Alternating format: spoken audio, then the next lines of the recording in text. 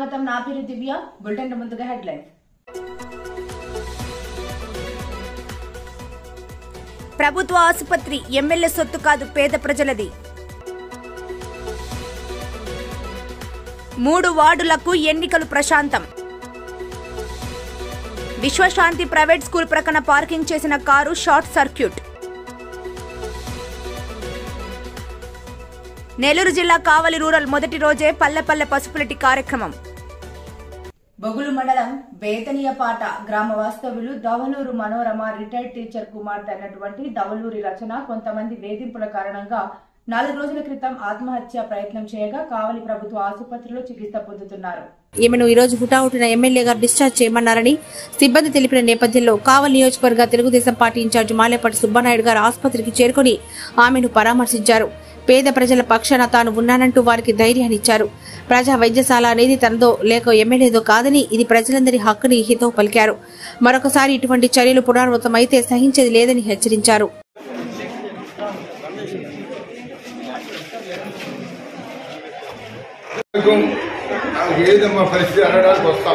మా చేతన సహాయం చేస్తాం. నువ్వు ఇచ్చి నువ్వు వచ్చేదందుకు దీన్ని వదిలేసి నువ్వు డిశ్చార్జ్ కాకుంటే నీ మీద కేసులు పెడతాం. నువ్వు వెళ్ళిపోకుంటే బయట నేను కేసు పెడతాను? తప్పు చేసుకుని నాకు ఎవరో రావాలి? ఎవరు చెప్పరు సార్ అసలు మన దగ్గర ఎవరు? ఆ, అమ్మాయి వినో వినమ్మా వేశారు. కొడుగ్గా ఎవరేడా సీసీ ఎత్తుగా ఎవరైనా? అది రమణ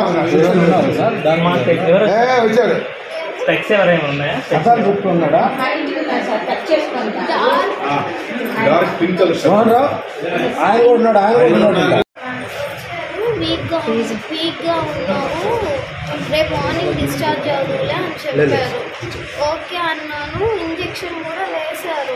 తర్వాత సడన్గా ఒక నర్స్ మేడం వచ్చారు.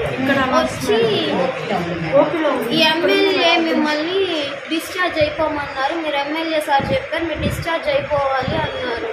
మేము. వచ్చి లేదు మమ్మల్ని రేపటి దాకా ఉండమన్నారు అని చెప్తే వెంటనే ఒక డాక్టర్ సార్ ఇన్షర్ట్ చేసుకొని చెక్స్ చెక్స్ షర్ట్ వేసుకొని ఎక్కడే నిలబడ్డాడు.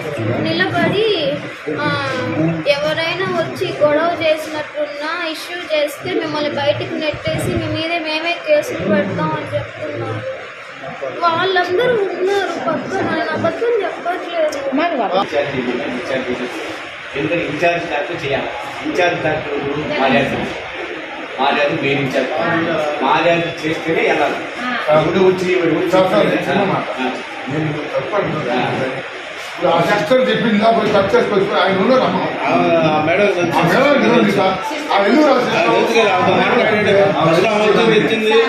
ఆమె చెప్పింది వచ్చిపోయాడు. భయపడేది చెప్పేటప్పుడు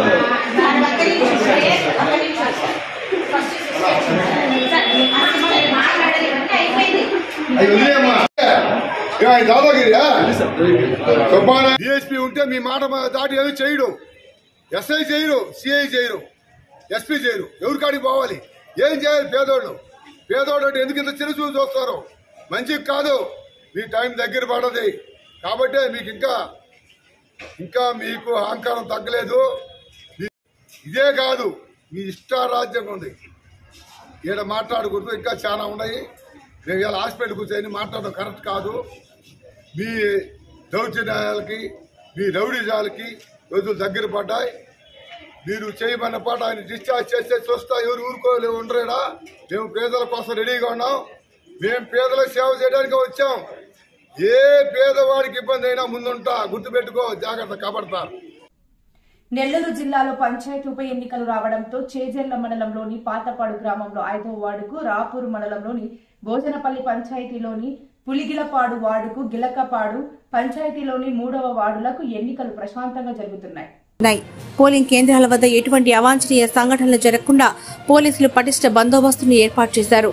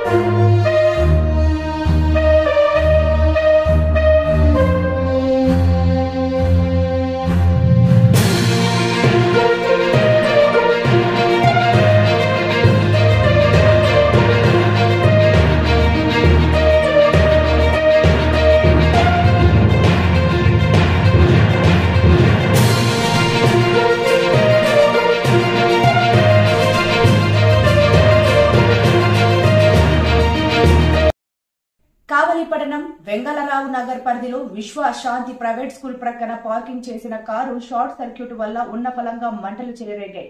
అందరూ చూస్తుండగానే కళ్ళ ముందే కాలిన కారు వివరాల్లోకి వెళితే జమ్మల పాలానికి చెందిన మా భాష అనే వ్యక్తి కారుగా గుర్తించారు. వారు పెళ్ళి రిసెప్షన్కి హాజరయ్యారు. ఈ కార్యక్రమంలో ఉండగా ఈ ఘటన చోటు చేసుకుంది.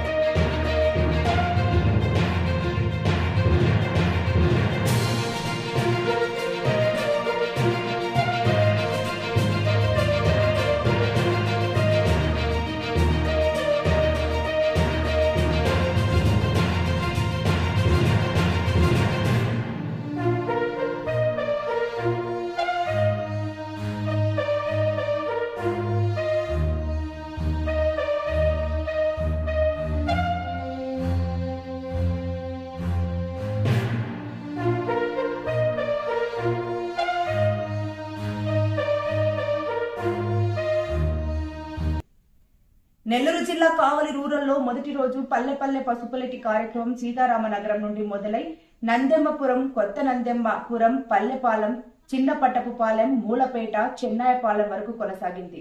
ప్రతి గ్రామంలో సెంటర్ లైటింగ్ సొంత నిధులతో ఏర్పాటు చేసి పల్లె ప్రాంత ప్రజలకు దగ్గరయ్యారు. మహిళలు హారతులతో బ్రహ్మరథం పట్టారు. పల్లె ప్రజలు గ్రామ సమస్యలను పసుపులేటి సుధాకర్కు తెలిపారు. సమస్యలను తీరుస్తారని హామీ ఇచ్చారు. మీడియా సమావేశంలో పసుపులేటి సుధాకర్ మాట్లాడుతూ ప్రజలకు సహాయం చేయడానికి అధికారం అవసరం లేదని నేను ప్రజల మనిషి అని చెప్పారు. ఎలక్షన్ల ముందు దొంగ హామీ ఇచ్చే నాయకుడిని కాదని గత ఎన్నికల ప్రచారంలో ప్రజలు ఓట్లు వేయకపోయినా ఇచ్చిన మాటకు కట్టబడి ఎన్నో అభివృద్ధి కార్యక్రమాలు చేశానని తెలిపారు. రెండు వేల ఇరవై నాలుగు ఎలక్షన్లలో పోటీ చేస్తాను ప్రజలు గెలిపిస్తే పల్లెను అభివృద్ధి చేస్తాను ఓడితే నా వంతు సహాయం చేస్తూ ఉంటానని చెప్పారు. కరోనా సమయంలో కోట్ల రూపాయలు ఖర్చు చేసి ప్రజలకు కూరగాయలు సరుకులు అందజేశానని చెప్పారు. నేను పుట్టిన ప్రాంతానికి సహాయం చెయ్యాలి అనేదే తన ఆశయమని చెప్పుకొచ్చారు. ఈ కార్యక్రమంలో పసుపులేటి శ్రీనివాసులు అభిమానులు కార్యకర్తలు పాల్గొన్నారు.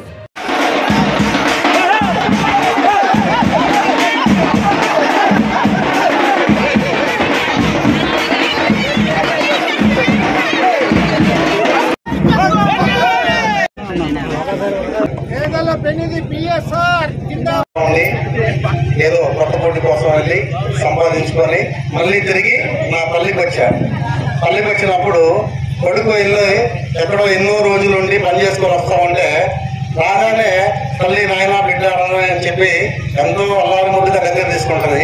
ఈ ఊర్లో అడుగు పెట్టగానే ఎంతమంది తల్లి నన్ను దగ్గర తీసుకున్నటువంటి ఆనందం కలిగింది.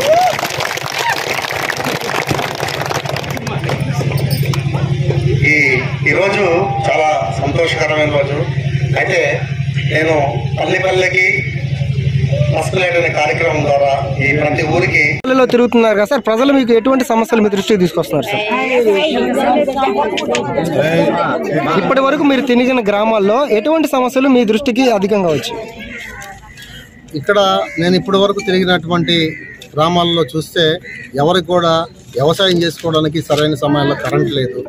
ఎవరికి ఒక రోడ్డు లేదు ఉండడానికి సరైన గృహం లేదు అసలు వాళ్ళకు ఏ వసతి కూడా లేదు. ఎన్ని సమస్యలే. వాళ్ళు చెప్పుకుంటే బోల్డని సమస్యలు. అది చెప్తే కూడా తీరే తీరే కాదనే లాగా పాపం వాళ్ళు ఉన్న సమస్యలు ఏదో గుడి అది అంటున్నారు తప్ప చాలా సమస్యలు ఉన్నాయి. ఆ సమస్యలన్నీ కూడా మేము అధికారంలోకి వచ్చిన తర్వాత ఖచ్చితంగా ఈ సమస్యలన్నీ సాల్వ్ చేస్తాం. వెంకటగిరి పట్టణ పింఛని వీరయ్య కళ్యాణ మండపం నందు తిరుపతి జిల్లా యూటీఎఫ్ ఐక్య ఉపాధ్యాయ ఫెడరేషన్ జిల్లా మధ్యంతర కౌన్సిల్ సమావేశం రాష్ట్ర కార్యదర్శి బి లక్ష్మణ్ రాజా అధ్యక్షతన నిర్వహించారు. వెంకటగిరి పట్టణ పింజలి వీరయ్య కళ్యాణ మండపం నందు తిరుపతి జిల్లా యూటీఎఫ్ ఐక్య ఉపాధ్యాయ ఫెడరేషన్ జిల్లా మధ్యంతర కౌన్సిల్ సమావేశం రాష్ట్ర కార్యదర్శి బి లక్ష్మణరాజు అధ్యక్షతన నిర్వహించారు. ఈ కార్యక్రమంలో ఆయన మాట్లాడుతూ జీవో వన్ వన్ సెవెన్ను రద్దు చేయాలని అనేక పోరాటాలు చేశామని జీవో వన్ వన్ సెవెన్ను ప్రభుత్వం అమలు చేస్తే విద్యా వ్యవస్థ నాశనం అవుతుందని అన్నారు. రాష్ట్ర విద్యా కమిషనర్ ప్రవీణ్ ప్రకాష్ అవలంబిస్తున్న వైఖరి ఆయన ఖండించారు. జీవో నూట పదిహేడును వెంటనే రద్దు చేయాలని అలానే నాలుగు నెలలుగా పెండింగ్లో ఉన్న జీతాలను వెంటనే చెల్లించాలని ఆయన డిమాండ్ చేశారు. ఈ నెల ఇరవై మూడున రాష్ట్ర విద్యా వ్యవస్థ కమిషనరేట్ను ముట్టడిస్తున్నట్లుగా తెలిపారు. సిపిఎస్ రద్దు చేయాలని పాత విధానం వెంటనే అమలు చేయాలని యూటీఎఫ్ జిల్లా నాయకులు సంఘం ఉపాధ్యాయులు డిమాండ్ చేశారు. ఈ కార్యక్రమంలో తిరుపతి జిల్లా యూటీఎఫ్ రాష్ట్ర జిల్లా నాయకులు ఉపాధ్యాయులు తదితరులు పాల్గొన్నారు. సర్దుబాటు చేస్తే సుదూర ప్రాంతాలకు వెళ్ళినటువంటి దాఖలాలు ప్రిఫరెన్షియల్ కేటగిరీలో అది హార్ట్ కావచ్చు లేదా క్యాన్సర్ కావచ్చు రకరకాల జబ్బులు బదిలీలు పదోన్నతులు చేపట్టామని గొప్పగా రాష్ట్ర ప్రభుత్వం చెప్పింది మరి యాభై వేల మంది ఉపాధ్యాయులకు జీతాలు ఇవ్వడానికి అంటే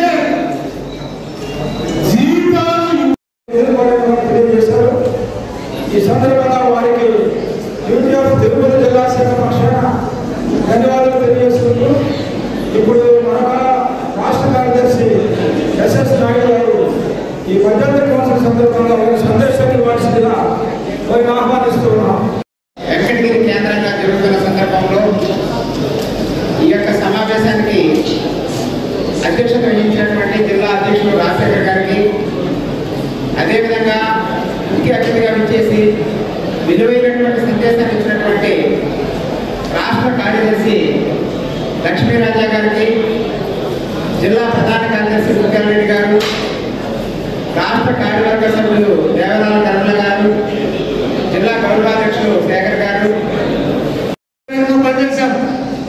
చంద్రబాబు ఉన్నప్పుడు ఆ ప్రభుత్వానికి వ్యతిరేకంగా పనిచేశాం.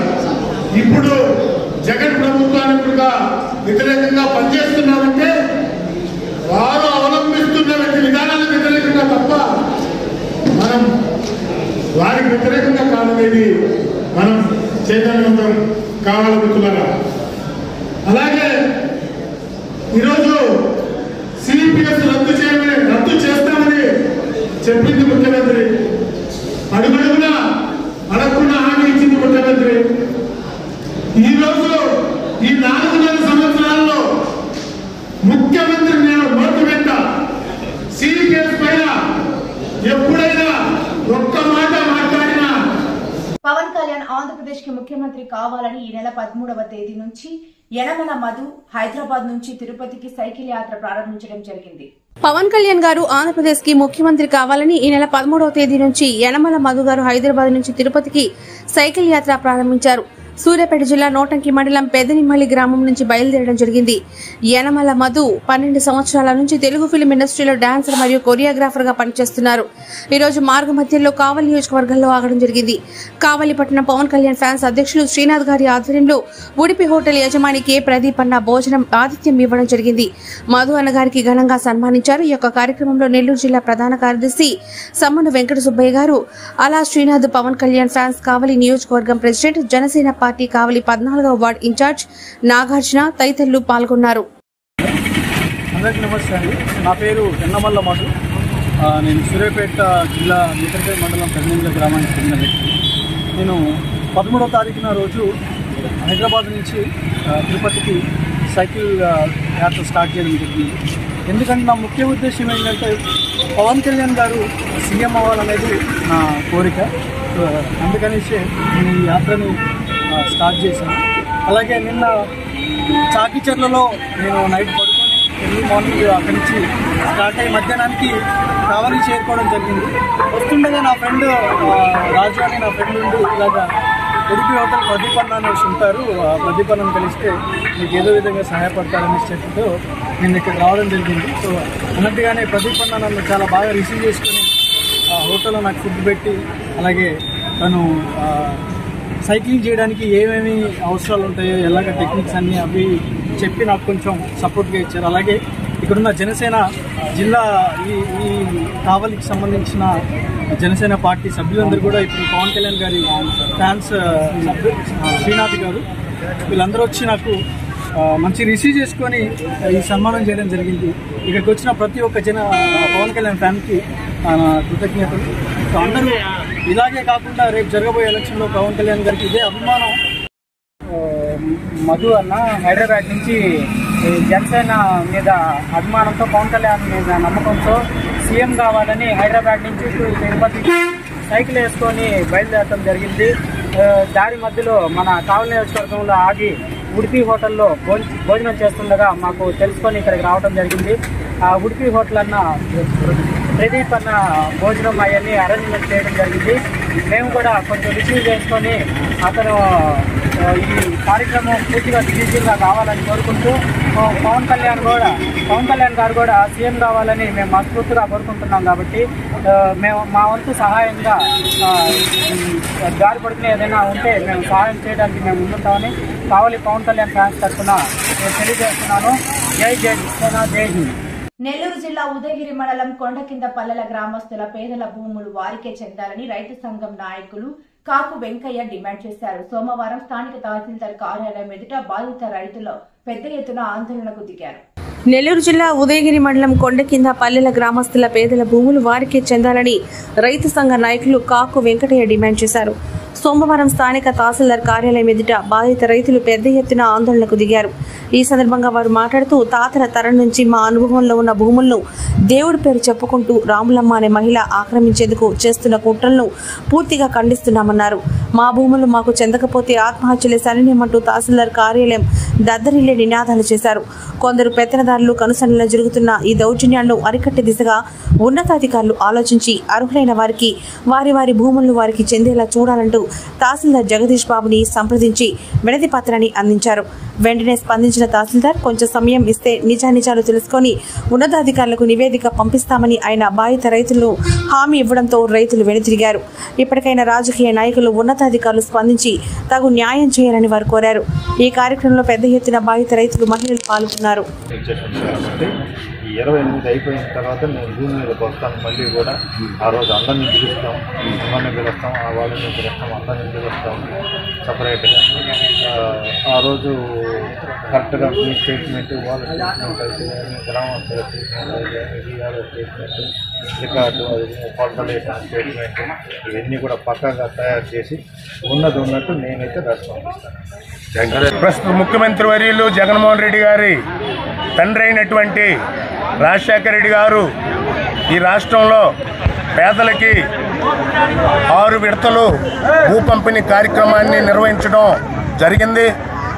మరి ఆ నిర్వహించినటువంటి సందర్భంలో ప్రత్యేకించి కొండ కింద గ్రామాలు తాలూకా ఉదయగిరి హెడ్ క్వార్టర్ అయినటువంటి ఉదయగిరి మండలం కొండ కింద గ్రామాలైనటువంటి బన్నగానిపల్లి ఆ చుట్టుపక్కల ఉండబడినటువంటి నిరుపేదలకి భూములు పంపిణీ కార్యక్రమం పెద్ద ఎత్తున నిర్వహించి ఆ విధంగా భూములు పట్టాలు పేదలకు ఇవ్వడం జరిగింది.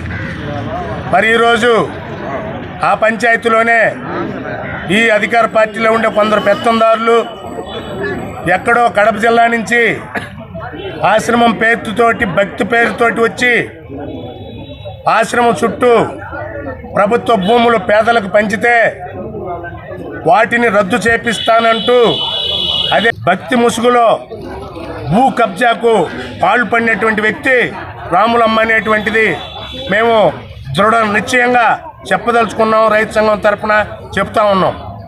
అట్లాగే ఆ చుట్టుపక్కల ఉన్నటువంటి పేదలు ప్రత్యేకించి మైనార్టీలు భూమి రెండు వేల మూడు రెండు వేల నాలుగులో కూడా ఆ విధంగా పట్టాలు పంపిణీ చేస్తే శ్మశానాల పేరుతోటి పట్టాదారులు మొత్తాన్ని ఒక భయానకమైన వాతావరణం ఏర్పాటు చేసి లింగమనేనిపల్లిలో కొత్తపల్లి నుంచి కొందరు పెత్తందారులు లింగమనేనిపల్లి పెత్తందారులు వచ్చి మైనార్టీల భూములని పూర్తిగా దేవస్థానం డబ్బులతోటి మొత్తము జేసీబీలు పెట్టి ఒక భయానకమైన వాతావరణంలో పట్టాదారులని తరుముకొని భూమిని ఆక్రమణ చేసుకున్నటువంటి ఒక దుర్మార్గమైనటువంటి ఘటన ఉదయగిరి మండలంలో నడుస్తూ ఉన్నది అధికార పెత్తందారుల వలన. కాబట్టి పెద్దలు ఎక్స్ ఎంపీ రాజమోహన్ రెడ్డి గారు ఆయనతో ముందున్న మేకపాటి చంద్రశేఖర్ రెడ్డి గారు అలాగే ఇప్పుడు ఇన్ఛార్జిగా ప్రభుత్వానికి వచ్చిన మేకపాటి రాజగోపాల్ రెడ్డి గారిని ఆశీర్వదించి అసెంబ్లీలకు పార్లమెంట్లకు పంపించినటువంటి ప్రజలకి వాళ్ళ చేతుల మీదుగా పట్టాలిచ్చి ఈరోజు వాళ్ళ నోటికాడి కూడు కొట్టేయడానికి మీ పార్టీలలో ఉన్న పెత్తందారులు పూనుకుంటున్నారు. కాబట్టి పెద్దలైనటువంటి వారు మీరు అందరూ ఆలోచన చేసి పేదలకు ఇచ్చిన భూములని వారి నోరు కొట్టకుండా వాళ్ళకి ఇప్పించాలని చెప్పి కూడా మీకు మేము విజ్ఞప్తి చేసుకుంటున్నాం. అట్లాగే ఉన్నతాధికారులు అదేందో ఆర్డీఓ గారు కలెక్టర్ గారు వెంటనే పేదల దగ్గర ఉండబడినటువంటి భూముల్ని వాళ్ళ శరలలో పెత్తందారులలో మిగిలి ఉన్నాయి. వాళ్ళకి ఇప్పించాలని చెప్పి ఈనాటి బులెటిన్లోని విశేషాలు తర్వాత బులెటిన్లో మళ్ళీ కలుసుకుందాం. అందరికీ సెలవు నమస్కారం.